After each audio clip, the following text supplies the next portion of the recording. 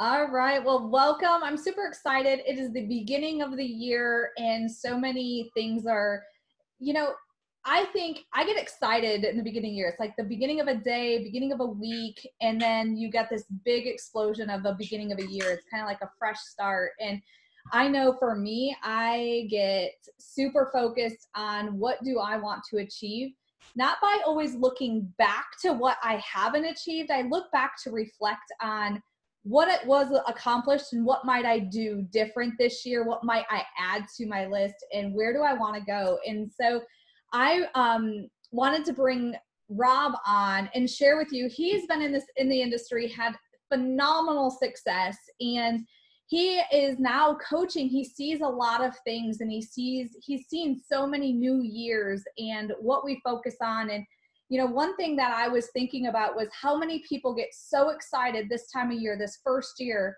and within three weeks to five weeks, they go from sprinting to walking to stalled, like completely shut down. And that's something I I want to help you guys all overcome and not have happen in your business, whatever business that is. And so whether it's a health and wellness goal that you have or it's your business goals, I see it in the health and fitness world where they go and then literally the gyms used to be so packed, Rob, right? Like right now, I don't even want to go to a gym because they're so packed. But by February, it's like ah it's our normal peeps again it's us it's the fam um, and those that just don't, don't set those realistic achievable stepping stone goals end up leaving quitting giving up on themselves it's too hard so i'm excited for you guys to hear from rob and so rob there's some people on here that might not actually know who you are so i'd love for you to intro and um, we'll get started Okay. I like long walks on the beach during sunset times. Um, I love seeing late night movies after hard work with my wife and just dinner and a movie and hanging out and escaping from my kids. My favorite time is in the morning when my kids wake up and at night when they go to bed and I don't have to see them anymore. Just being real, right? Two favorite times. It's like, yes, love you. Um, been in the industry now for over a decade prior to this industry, I was actually a tennis guy. Grew up playing t- tennis, traveling all around the country, played semi-professional tennis, played college tennis, then taught tennis, then ran a tennis club. And that's really what I thought I was going to do. I thought I was going to build a tennis club and had all these big aspirations. And I was crazy entrepreneurial. And even when I'm at school, I'm like, you know, in college, I'm like writing down all my ideas of businesses and how I could make a tennis club work and then I got involved in the network marketing industry. Long story short, I became the the top recruiter out of a million distributors, and I tell everyone that's because I had an incredible mentor. I was crazy coachable, in large part because I knew I wasn't naturally the person who was going to start out like really, really good, and then I outworked everybody. Um, I'm most people don't know my background, even people that that kind of know me but I was always the shortest, and now I'm now I'm six one, or at least I like to think six one, maybe on my tippy toes. But I um I grew really really late, and so at one point in my life, I had my I was 14. My 12 year old brother was taller than me. My 10 year old sister was taller than me. So I kind of was always a little guy that like had to fight for everything and um, that's why I outworked everyone because I was so scared of failing that I just went all out crazy and so that was a great experience. Um, from there, I had a, a, company that had done about $4 billion in sales that wanted to create a new brand. Uh, and so I helped create that. I was both consultant for that company creator and also I became the lead distributor. And so I did that for several years. And then, long story short, I created a, a merger with that company and, and, and really two others. It was like three brands, companies merging. And the last couple years, I've just done consulting speaking and coaching all over. Uh, 2018, which is still weird to say it's 2019, was fun. I think last year, I think I spoke in nine different countries, traveled all over, and got to know a lot of new people. And um, it was fun hanging out with with you and in Mexico, and and uh, we all learned a ton from each other. So excited to share any insights, any perspectives, just to give you an idea of, for me, like I go over and think of things because we are talking about what to train on and stuff. So here's my, my wife hates because I do chicken scratch all over. So this is my training right here. It's I found an envelope. I don't say envelope. I say envelope. That's the correct way. And that's my training. So I've got it all ready to go. So awesome. any, any oh direction oh you want to go is good. That's just... like me. I write things down. Like I have little sticky notes all over the place. I love it. So, um, so yeah. So thanks for having me on, and I'm excited. I know it's a new year. A new year is just an excuse, and sometimes those excuses can be really helpful because it's just a psychological excuse to have that psychological fresh start. Because we know in reality we can start whenever, but sometimes we just we just need that, and I think I think that helps us to have that. So I've I've got a lot of thoughts and ideas, and know there's lots of different directions, and there's always different ways of defining success or insights or perspectives or secrets or hacks or whatever we want to call them. And so we'll have some fun, and I want to shed some light and give you all some perspective and help you to crush 2019 and make it happen.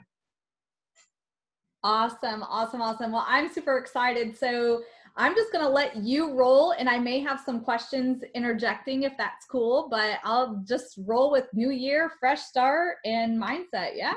Yeah, sounds good. So the first thing I was thinking about, and I was thinking about just some of these trainings we we had talked about and gone into, and I was actually referring to some of my notes from from Mexico from all of you and from me. And the first thing I was thinking about is is is one of the best analogies I can give that I've given for I haven't given it very often, um, but I've probably only given on maybe two Facebook Lives.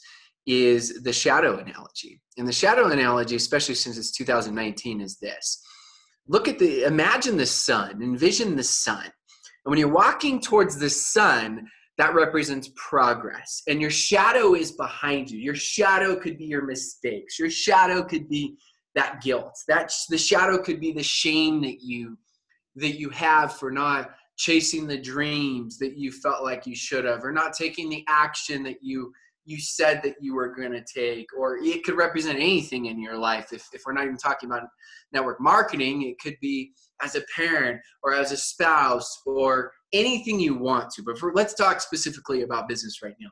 So all of that is behind you but only when you're taking steps forward. Only when you're headed in the right direction. That's why direction is so key because I believe the best definition of happiness is progress. Think about this when you're progressing, you're happy.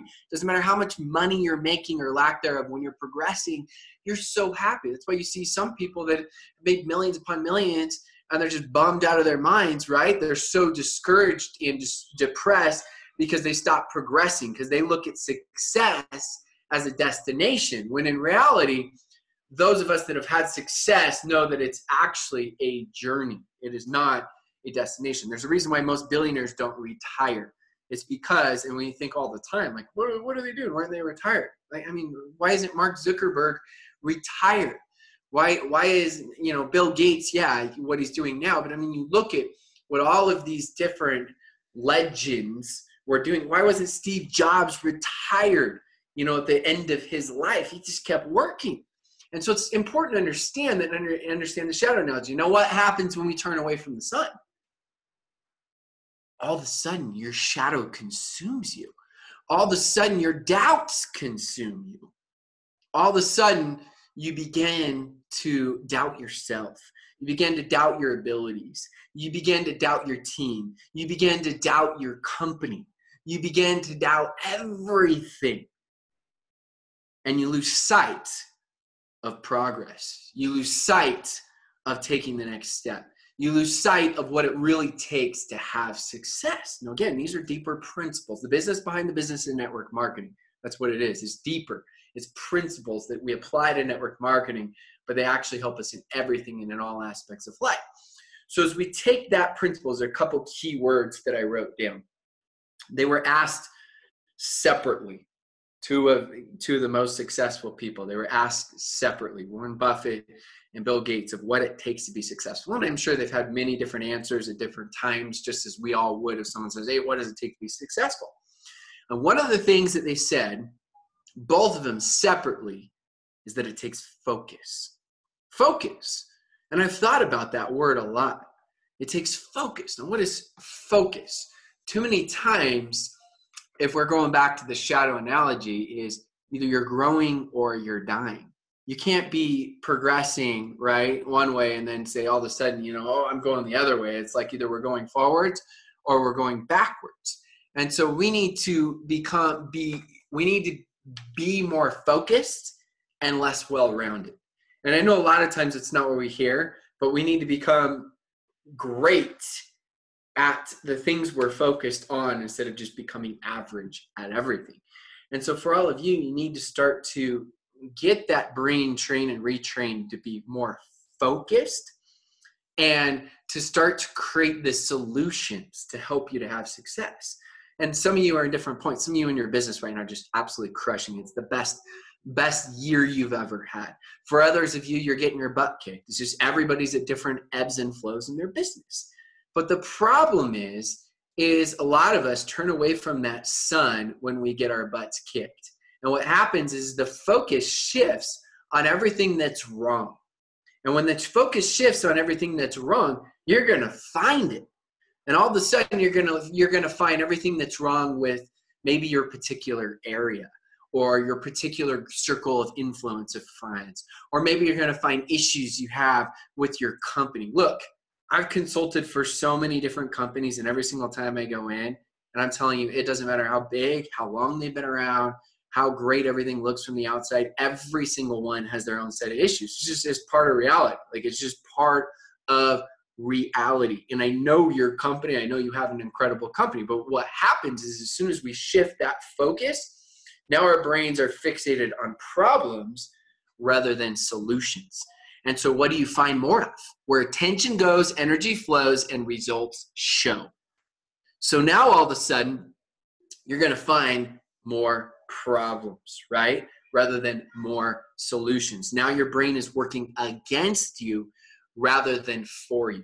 Now all of a sudden the doubts become bigger. The problems become amplified and bigger rather than focusing on those specific solutions to help you to have success. And so one of the things that go and everything kind of works together is you need to you need to look for those solutions in the way that I would describe it from from a tennis perspective. So for me, growing up playing tennis, semi-professional tennis, coaching people in network marketing, coaching people in tennis. Most people don't know, but I coached a high school tennis team for about 15 years. I never got paid even a dollar, and then this last year was the first year that I didn't do it.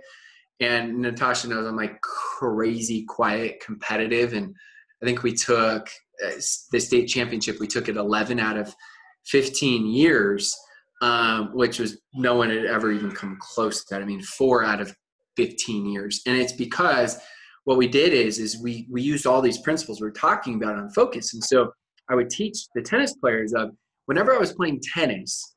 I found myself having a battle. If it was this, if it was a match that was winnable, of course you're playing someone that's 10 levels above you and you don't have a shot that's different. But if it was a winnable match, and I'm playing, it was this battle. Was my brain fixated on the problems and excuses? Was I creating my alibi or was I creating my success story?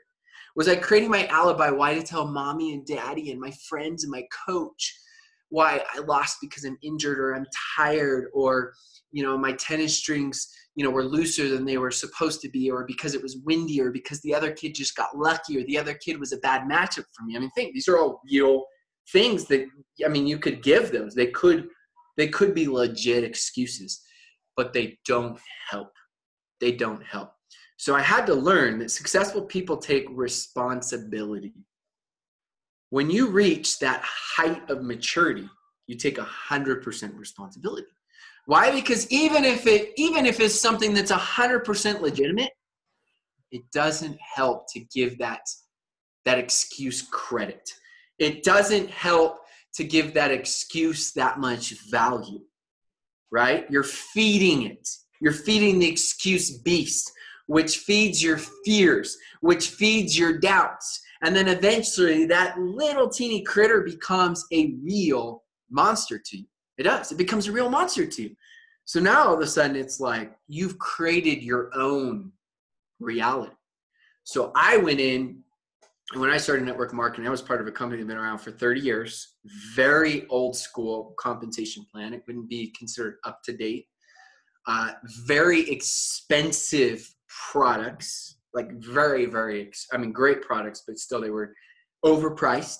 I'm starting in Utah, where the company's headquarters is in the most saturated market in the entire world. Everybody says, hey, people don't like network marketing in my area. Trust me, I know because when I went to Asia, they told me that. And when I went to South America, they told me that. When I went to Central America, they told me that. When I went to Australia, they told me that. When I went to Europe, they told me that. When I went to Canada, they told me that. So I'm sure you say the same thing because everyone thinks their area is different. Okay. But we all know Utah is the most saturated place in the world. So the excuses were there, right? The alibi was there. But instead, I focused on okay, what are the solutions for me to win? And I would always say, okay, look, either I'm in or I'm out. And that's why I always say the hardest person you're ever going to have to recruit is the most important person. That's yourself. Recruit yourself. There's nobody else. And you may say, yeah, but I don't need money. That's true. But if you've recruited yourself, other things will fall into place. The other important things, that's the foundational piece. How do you expect to find solutions? How do you expect to look somebody in the eyes or you be on a Zoom or have them like right, they're looking you eye to eye on a Zoom and you're saying, come follow me, whether you use those words or not, that's what you're saying. When you don't even know if you're going to be around two months, three months, six months, or a year from now. So the first thing I had to do was I had to recruit myself. I had to focus and I had to commit. Your success in large part will be determined by the level of your commitment.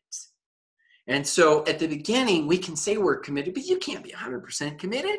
You just can't until you get your butt kicked right, until you have that cold water just thrown on you, and you're just like, okay, am I in or am I out? And each trial can strengthen your commitment or weaken it. But you don't know. You can say, but you don't really know. And so for me, I thought I'm a very committed, loyal person. I pride myself on being tough. I thought I'm all in. I am all in. And then my fifth month in the business came. And that happened to be a month that was December for me. Okay. Now I know some companies crush it, some teams crush it in December. I made less than $400. And I worked 80 hours a week. And that was my only source of income because, like an idiot, I quit my job way too soon. I didn't know the difference between bonus checks and residual income. And so I don't know what to do. Am I supposed to laugh at my check? Am I supposed to cry at my check? And so I had to decide and I decided that I was I was all in. And I said, look, either I'm in or I'm out. Either I'm all I'm sick of dipping my my toe in the pool and telling everyone I'm in. Either I jump in the freaking pool or I don't.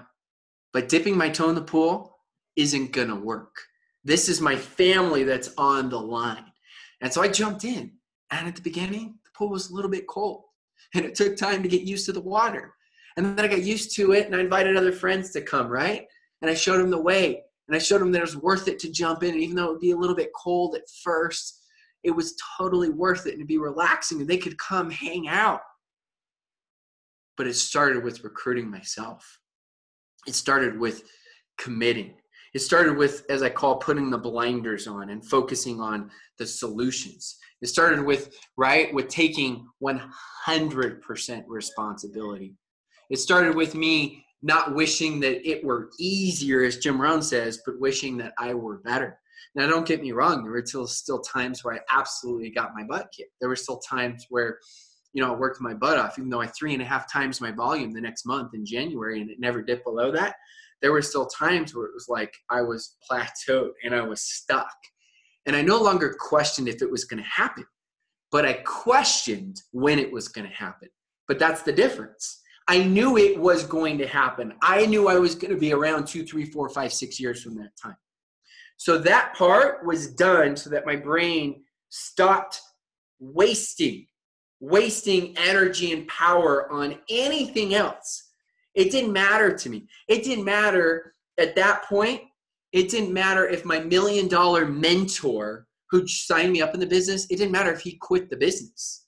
It didn't really matter because I had made a commitment. It didn't matter if my superstar downline person that I signed up quit the business and said, Hey, I'm going to go do this. It didn't matter that my family members, which happened, decided that network marketing wasn't for them. It didn't matter. Now, did it hurt? Oh, yeah. It was like somebody took a knife and stabbed me. But it didn't matter in the sense it didn't waver if I was going to do it or not.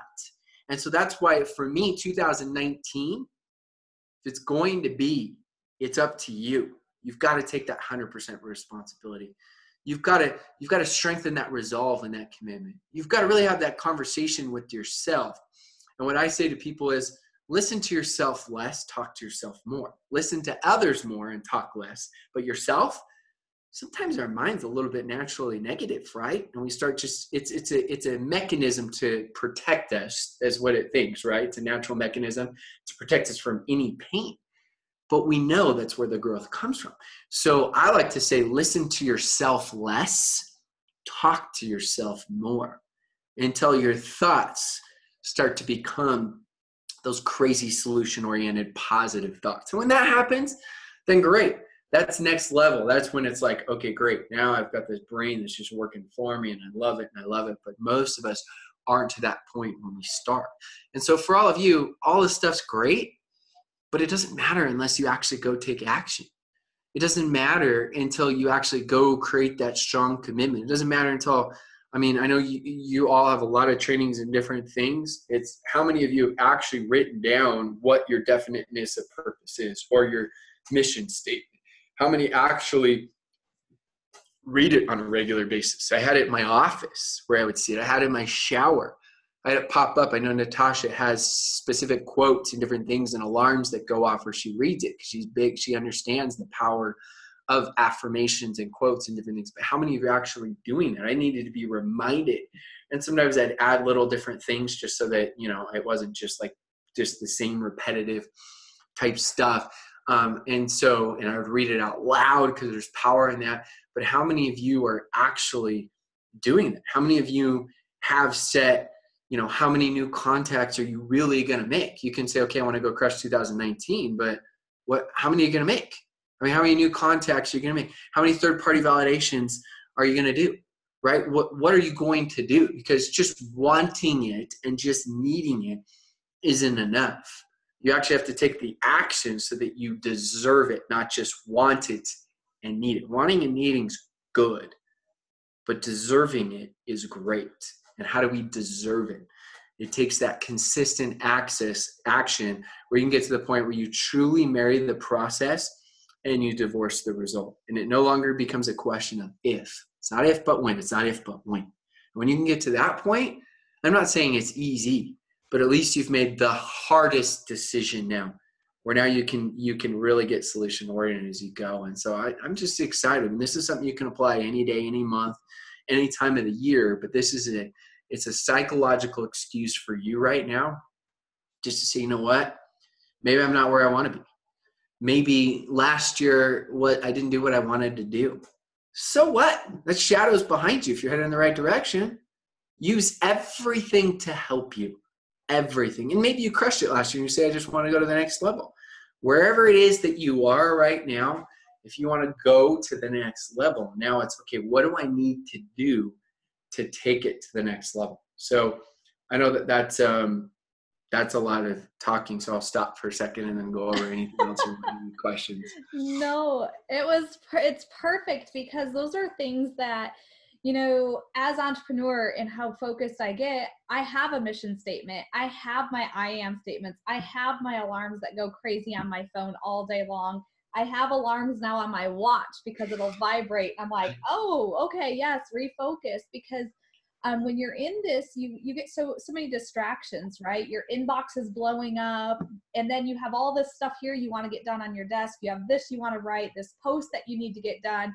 And i get how people get paralyzed right? They, there's so much that they just stop. They they paralyze themselves because they they don't focus. They don't shut that stuff off and refocus. So i absolutely love it. Um i'm there was a couple things here so um yes david i will share with you guys i have i'll screenshot my uh, mission statement to you guys um it changes i personally review it every quarter because I feel my core stays the same, but sometimes that mission statement slightly changes depending on where my focus is and what I'm doing. So every quarter I reevaluate me, my goals, and where I'm going. Yeah, I love that. And I want to read something real quick, and then any questions you guys have would be great. So I found this from John Maxwell, and this is um, really powerful when I talk about becoming a leader. And he just puts it so just perfectly. And so this is one of the trainings I do for my leader of leaders trainings that I'll share with all of you that, that I wrote down from him. He says leaders who attract followers need to be needed. So pay really close attention because every word means something. Lead, so he, he talks, everything is about he starts out everything with leaders who attract followers and then the next part is leaders who develop leaders okay? So leaders who attract followers need to be needed leaders who develop leaders want to be succeeded. Leaders who attract followers develop the bottom 20% leaders who develop leaders develop the top 20% leaders who attract followers focus on weakness. Leaders who develop leaders focus on strengths Leaders who attract followers treat everyone the same. I thought this was interesting. Leaders who develop leaders treat individuals differently. Leaders who attract followers spend time with others. Leaders who develop leaders invest time in others. Leaders who attract followers grow by addition.